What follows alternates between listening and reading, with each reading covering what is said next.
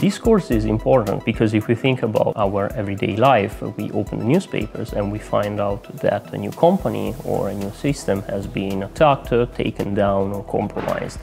And this stems partially from the fact that uh, cybersecurity oftentimes is uh, just implemented in a, on a second thought and not right away at deployment time. So businesses and companies can really gain advantage if their own employees are trained to detect the potential issues and threats uh, at deployment time and not on a, on a second loop on their own systems.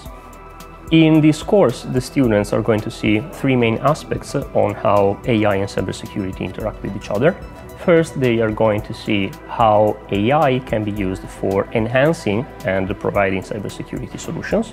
Then they are going to see how AI can be used for attacking systems, therefore lowering the cybersecurity level of a process or um, even a company. And last but not least, they are going to learn how AI and machine learning algorithms themselves suffer from potential vulnerabilities. Uh, for example, there is a technique called dataset poisoning, where an attacker can inject a small quantity of data that is enough to make so that the machine learning algorithm produces a fake and a wrong result.